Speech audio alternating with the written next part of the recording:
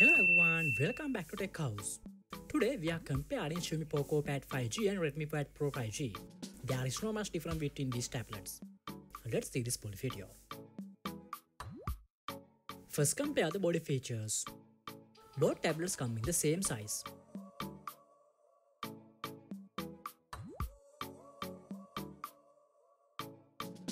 Next compare display features. They offer 12.1 inches IPS LCD display.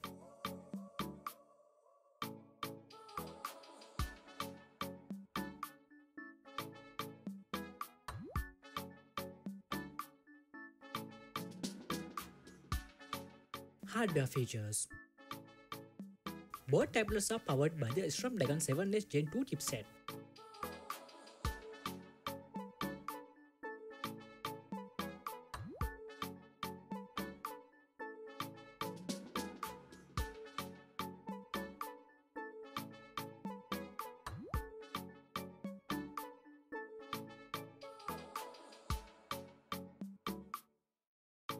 When it comes to the camera features, they offer 8 megapixel rear camera and 8 megapixel front camera.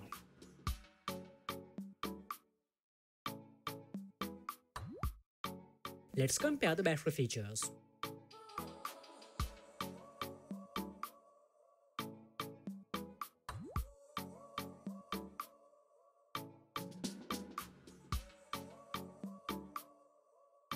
Both two tablets includes 5G connectivity, HD speakers, Bluetooth 5.2 and fingerprint.